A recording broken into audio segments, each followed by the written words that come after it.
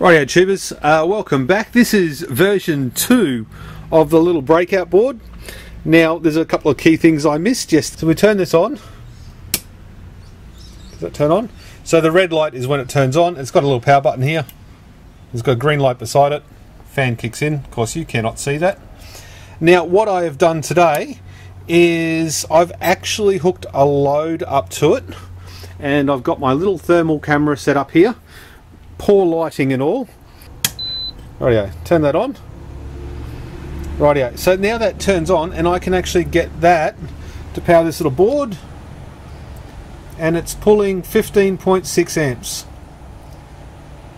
and the voltage is 11.6 volts so we have a look on this multimeter here 11.95 it's saying 11.6. Uh, get bearing in mind we've got different cable lengths and stuff like that, so there's a decent voltage drop. We'll turn this off as a load. Come on. This will be like the USB from yesterday. There we go. Put that back on there. We got 12.17 volt. So it does drop half a volt or something like that. Alright, we've got the thermal camera set up. Uh, we shall actually set it to record video. Plug that in, wait for the fan to kick on. There we go. We have got 15 point, I think we can go to 16. There you go, 16.4. Nope, it dropped out. There we go, it's doing uh, 16.2 amps. Now if we come back over to the FLIR camera, we can see it's starting to get a little bit warm. Current doing 16, 16.2 amps. And we've only we're only one minute and 44 seconds in, and it's already at 50 degrees. And you can see uh, clearly on the pins there, they're getting very hot very quick. So that's just over 50 degrees. We'll grab the clamp meter, which is without a doubt my favourite tool and it is also showing 16 amps 15.92 not bad. Close enough. I can definitely feel a lot of heat coming off that.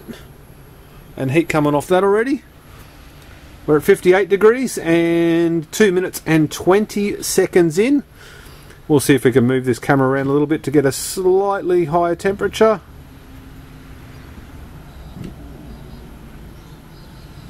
Of course this is always fun isn't it there you go. So we're at 70 degrees.